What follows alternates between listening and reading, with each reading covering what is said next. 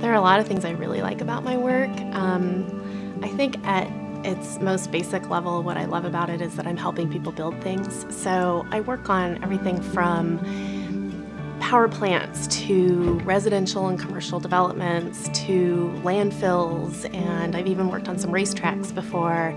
And it's sort of fun to, to help developers kind of implement their visions for what a community should look like and what facilities should be provided. And I can say, hey, I helped do that. My grandfather told me never go to bed angry.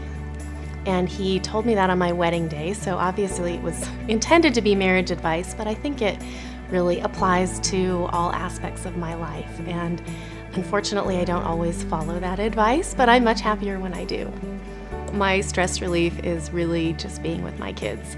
Um, we have a lot of impromptu dance parties in my living room and in my backyard, and it's uh, hard to take yourself too seriously when you're having a dance off with a seven year old. Um, but and and we laugh a lot, so um, that's really my best stress relief at this point in my life. And someday I'll go back to yoga.